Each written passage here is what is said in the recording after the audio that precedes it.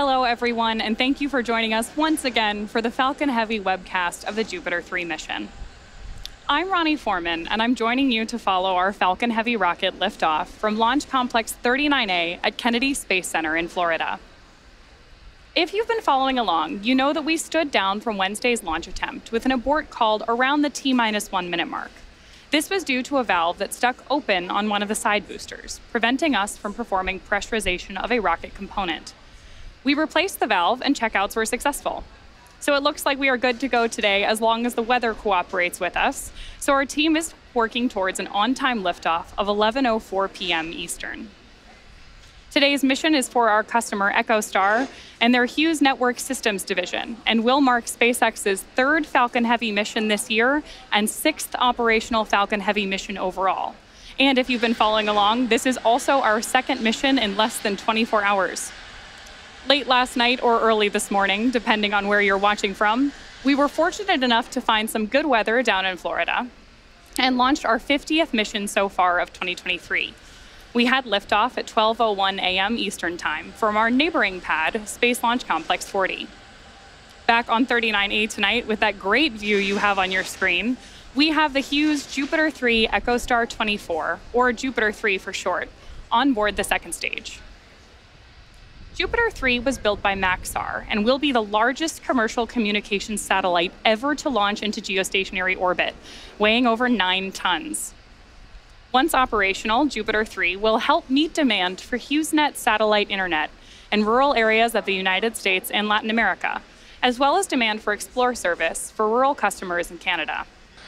Now, as a quick note, payload deployment for Jupiter 3 is scheduled to occur after three second stage engine burns and will take place around the T plus three hour and 30 minute mark. So hopefully you'll stick with us. Now, above the second stage is where our payload is safely enclosed inside of our carbon composite payload fairing halves. The fairing protects the payload from aerothermal loads, heating, and contamination during ascent. Once we reach the vacuum of space, though, the fairing isn't needed anymore, so we'll jettison the fairing halves as the second stage continues on its journey to orbit. Both fairing halves supporting today's mission are also flight proven, just like our side boosters, with one half flying for its fifth time and the other for its sixth. We will be attempting to recover the fairing halves again today as well with our recovery vessel Doug. And now, with just about T minus eight minutes and counting, here's a little bit more on our customer and our payload. For over half a century, we've been on a journey to connect people, enterprises, and things around the world. Innovation runs deep in our veins, from developing the two way VSAT in the 1980s to inventing satellite internet in the 1990s, to launching the first modern era telecommunications satellite in the 2000s we've tackled the biggest connectivity challenges and applied our engineering excellence to uncover innovative ways to connect the unconnected. Since the launch of the first Hughes high throughput satellite, we have engineered some of the highest capacity broadband satellites in the world. And now, our latest and greatest innovation launches a new era of connectivity Jupiter 3, the world's largest commercial communication satellite. 26 feet tall when stowed, it boasts 14 solar panels unfurled. This massive satellite was purpose built and engineered like no satellite before. Hundreds of team members have devoted countless hours to bring Jupiter 3 to life. The highly anticipated next generation ultra high density satellite doubles the size of the Hughes Jupiter fleet and brings total throughput to more than one terabit per second enabling more capacity, better service, and faster speeds. With 300 highly concentrated spot beams, Jupiter 3 expands our reach to nearly 80% of the population across North and South America. The engineering ingenuity built into Jupiter 3 will expand the connected experience. For the family in Ohio streaming movies on a Friday night, for the student in Mexico, expanding her horizons with access to technology and educational tools. For the farmer in rural Idaho, monitoring the weather each day to manage his crops. For the executive, flying from New York to Los Angeles, holding a meeting over first class Wi Fi in the sky. For the senior in Montana, consulting with his doctor by telehealth. For the ranger at a national park, coordinating in real time with emergency responders. For the mango grower in Brazil, expanding her family business nationwide and internationally. For the entrepreneur in Ecuador, promoting his business and taking customer orders.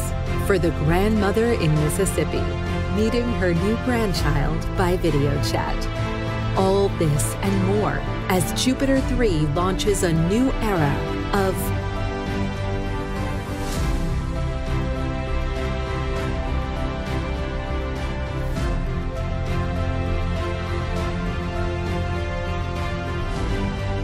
Join us. T minus 10, 9, 8, 7, 6, 5, 4, 3, 2, 1. Ignition. Engine full power. And liftoff from Falcon Heavy. Go Falcon 9. Go Falcon Heavy. Go Echo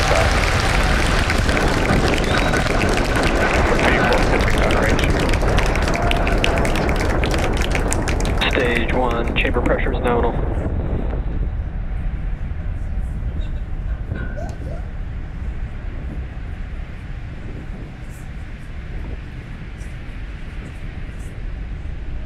We are just over 30 seconds into flight under the power of over 5 million pounds of thrust, and Falcon Heavy is on its way to space. Right now, we're throttling down in preparation for max Q, which is, of course, the moment of peak. Power and telemetry nominal. Callouts there that power and telemetry are both looking good for Falcon Heavy. Again, what we're preparing for next is max Q, which is the peak mechanical stress on the rocket.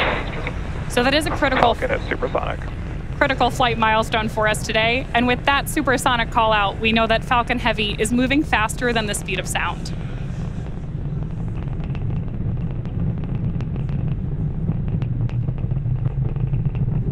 Max Q. There we've passed through max Q. So now the engines are throttling up. Everything's looking good with the stage one trajectory, which is great news. Our side boosters are throttled all the way up right now, but the center core is operating at reduced power. We'll gradually begin reducing thrust from the side boosters to decrease forces on the vehicle structure as we approach our next major flight event, BECO. BECO, which stands for Booster Engine Cutoff, is expected at about two and a half minutes into flight. That's where we'll shut down the engines on the side boosters. And then following BECO, the side boosters will separate away from the center core and begin their trip back to Earth. The center core engines will then ramp up to full power and burn for approximately another minute, while the side boosters execute their boost back burns simultaneously. Incredible views of Falcon Heavy right now. And as a reminder, although we are not attempting to recover our center core due to performance today, we will be attempting to land those two side boosters on landing zones one and two, so we'll have great views for you on the right hand side of your screen.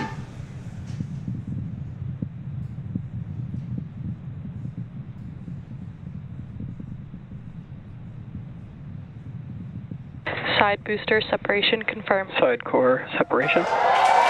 There we've had confirmation of side core separation there. And shortly, those side boosters are going to begin the first of three burns prior Booster to landing back startup. back on land. There's the call out that we've had boost back begin.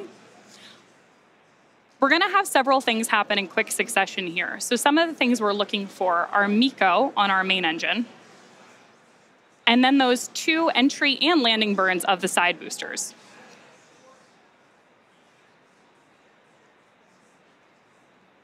On your screen right now, we have views, views of both of those side boosters on their way back to Earth. There we go over on the side right there.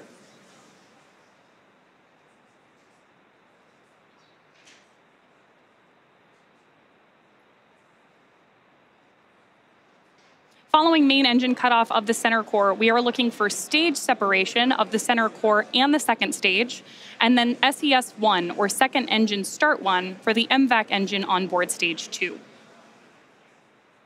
Shortly after that, we will also have fairing separation. So let's keep an eye on all, all of those events happening back to back here in just a couple seconds.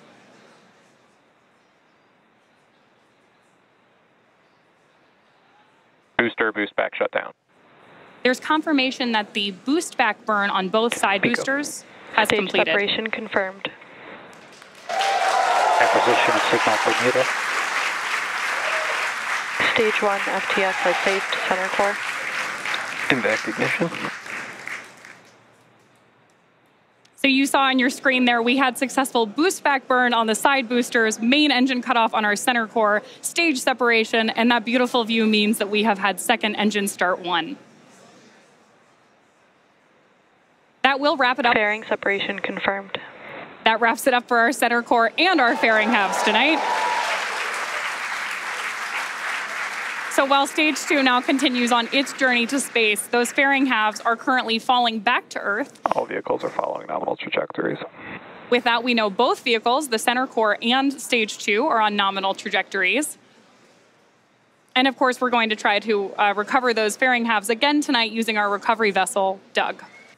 Side booster landing leg deploy.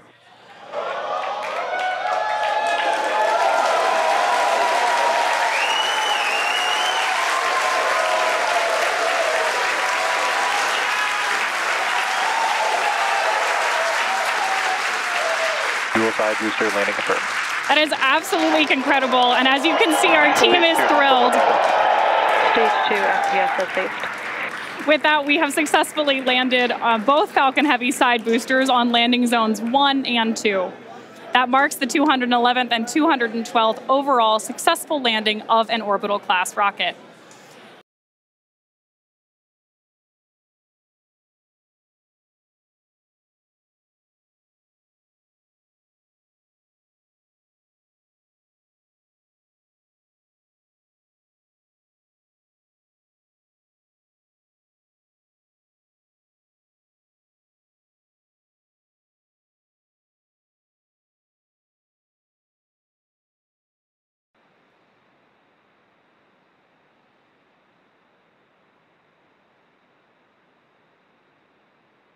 Payload deploy confirmed.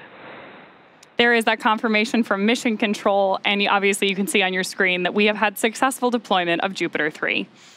With that, we will bring our mission coverage to a close.